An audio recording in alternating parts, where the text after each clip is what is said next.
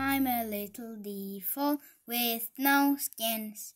I have no V-Bucks and no skins. If you want some more, please like, subscribe.